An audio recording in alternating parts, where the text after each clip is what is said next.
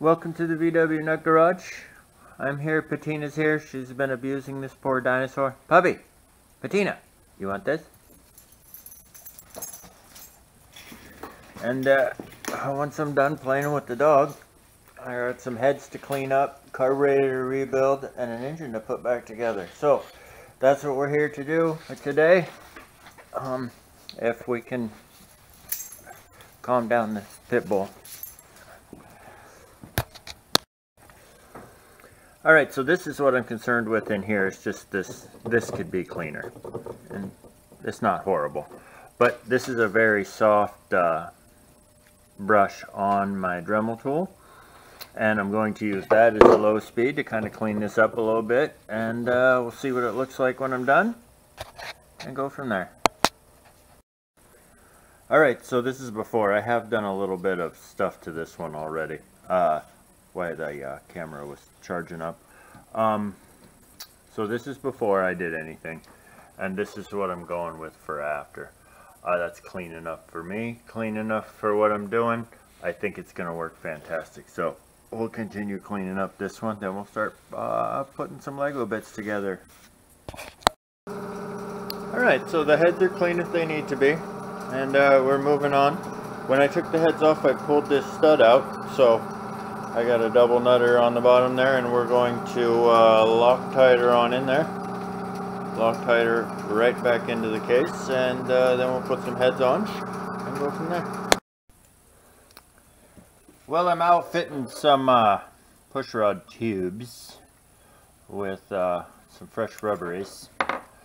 Um, the only thing that I did was just to make sure I got most of the crap off of my hand, um, just so it wasn't adding to the mess on the pushrod tube. So, 182 more of these to go, and uh, we'll get some heads on. Well, you can clearly see where we're at. And now that I made sure to keep my hands clean for all these rubbers, I'll uh, make sure and drop them in the goop, probably. So I thought I'd turn the camera on uh, while I was trying to outfit them.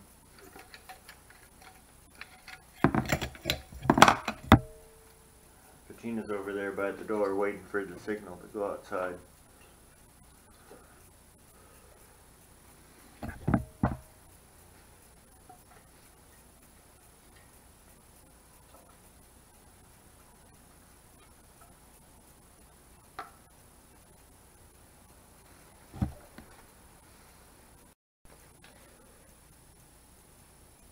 Well, I don't know how much of that was captured, but uh, get the pushrod tubes set in place there and uh, putting on the, uh, the head bolts right now.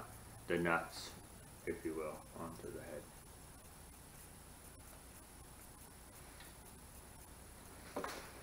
And I'll bring you guys back when we get to torquing them down.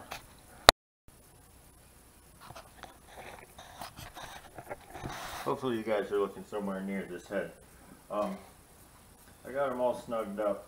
I'm to go ahead and hit them with the torque wrench. Same as the other side. Uh, 25 is what they call for, so that's what they're going to get.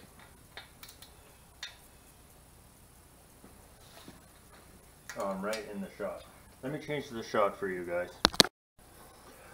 We'll get this cylinder head torqued down, so where I'm headed next is, let me get my big fat head in the way for you. Um, where I'm headed next is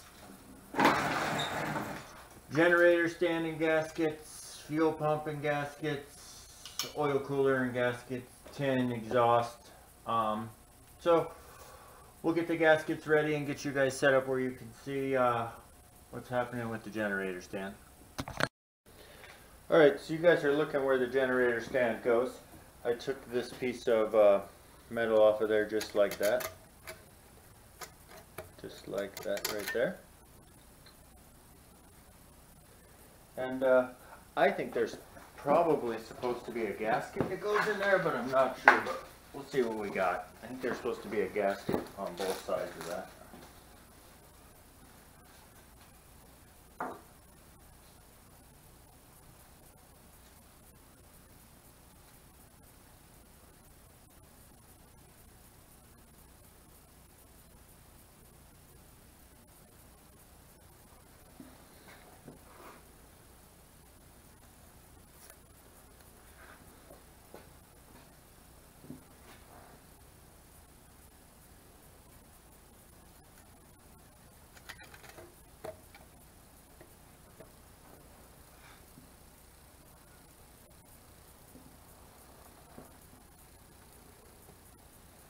Just like a little bit of that there. Get my greasy fingerprints all over the fresh paint.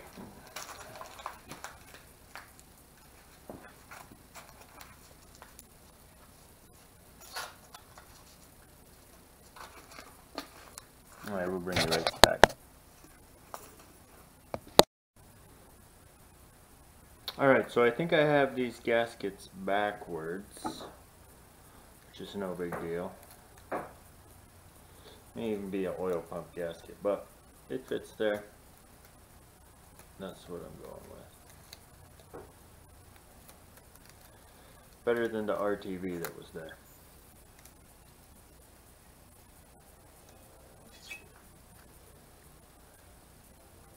Now we're talking.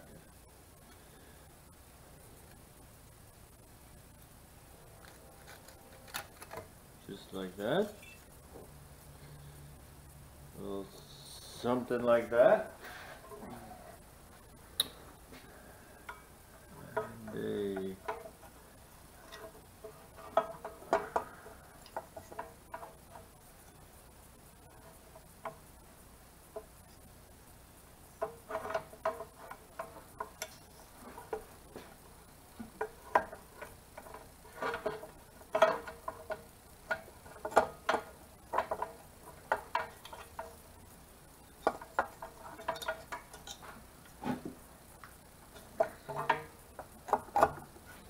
like that. Alright, you guys get the idea. Four bolts and that'll be done. We'll move on to the uh, fuel pump.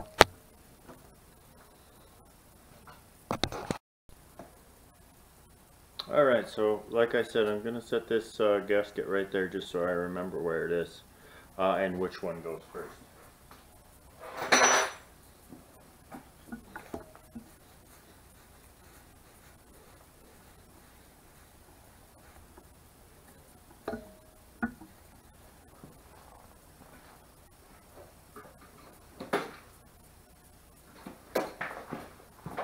Careful.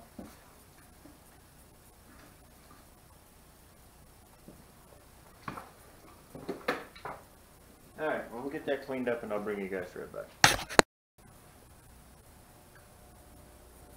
Alright, well I'm going to put this here uh, gasket in its correct configuration now. Um, make sure that's the correct one. Put this in its correct configuration.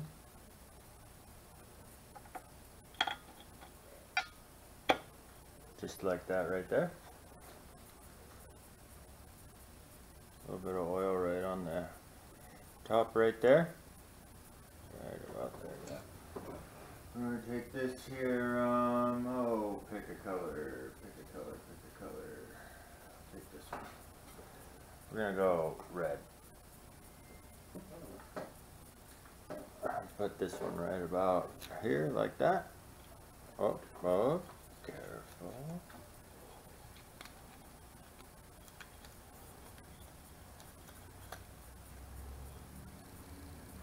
Okay.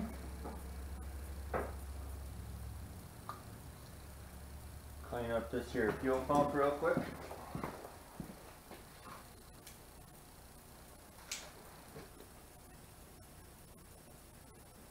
Alright, so that's all cleaned up and uh, get these tightened down nice and even. Wavy washers, fresh gaskets.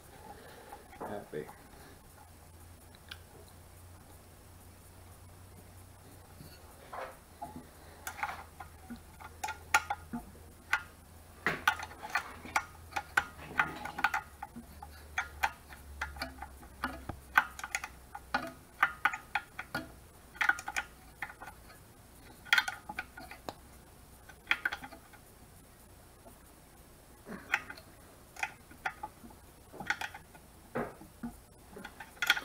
Alright, that's done. I'll get the uh, 10 millimeter. We'll get three of these off and take a look at what's in there. These two that are underneath, be careful not to drop them into the abyss that is down there.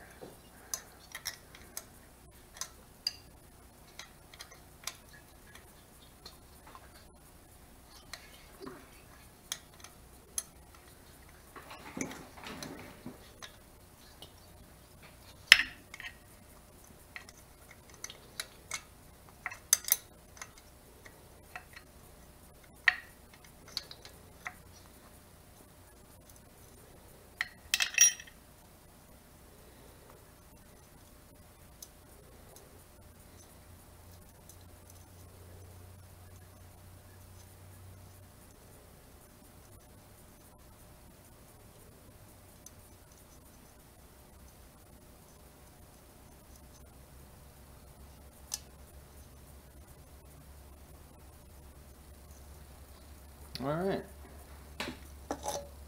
That out of there. It's barely crusty.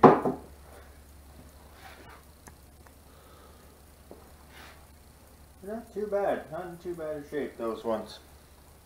Relatively impressive. Um, we'll get this cleaned up, that cleaned up, and uh, fresh gaskets in there and reassemble. Well, that's all cleaned up right there, and we'll uh, pull out my plugs.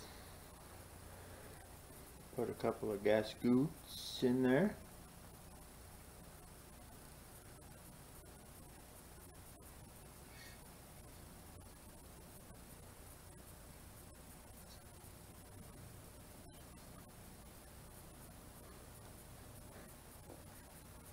Okay. This tray here, right back on there. It's all cleaned up on the bottom.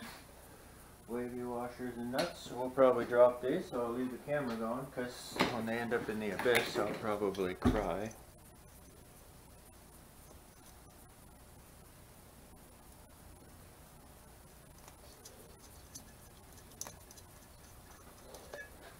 Alright, don't say nothing about how easy that first one was.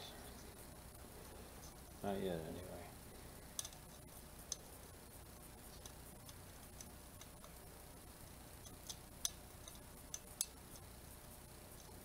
Oh, you guys probably said something about how easy it was with the first one.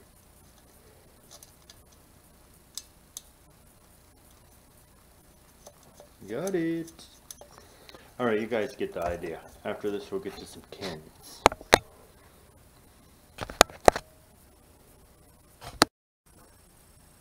Alright, so here's where we're at. I already put the uh, rocker arm on the other side, so I'm going to put it on this side. You can see what it is I'm attempting to do. Not attempting, first time.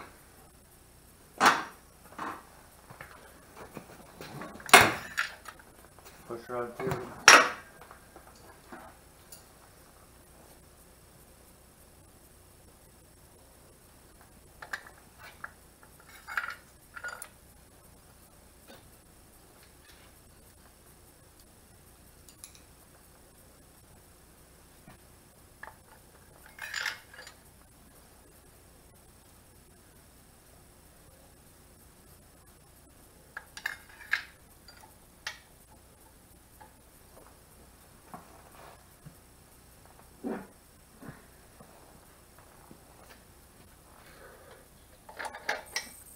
Rocker assembly.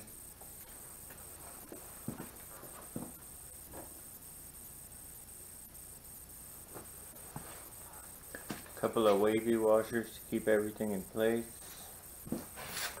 One pair of 13 millimeters.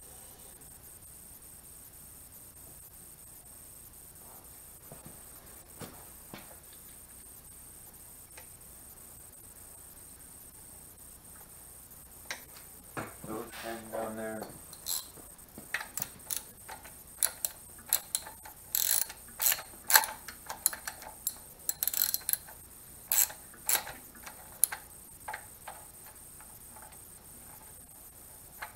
Uh oh, something's happening with that one right there. There's something going on right there.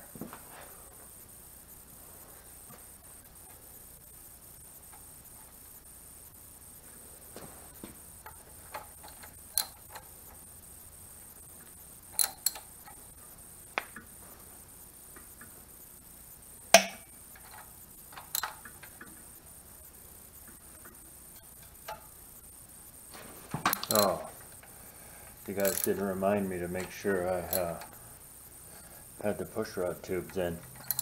That's alright, we'll do her twice. Second try.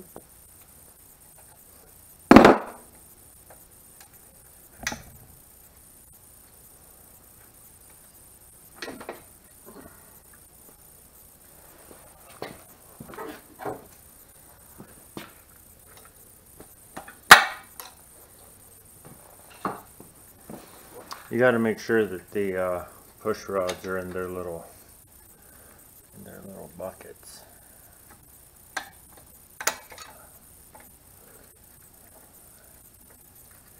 Before you start cranking down on things, Brian.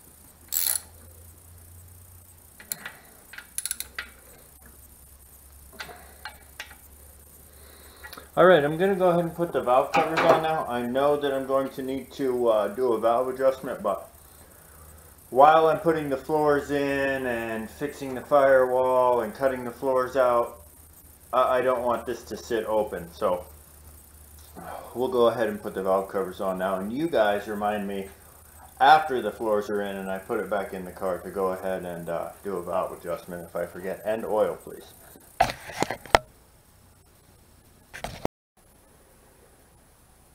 Alright, now we're on to the cylinder head tin. Um, got that on. Valve covers went on, no problem, with fresh gaskets. Uh, so we'll start getting the cylinder head tin screwed down and there's a couple of pieces that go underneath and while we're underneath we'll take that screen off and clean it.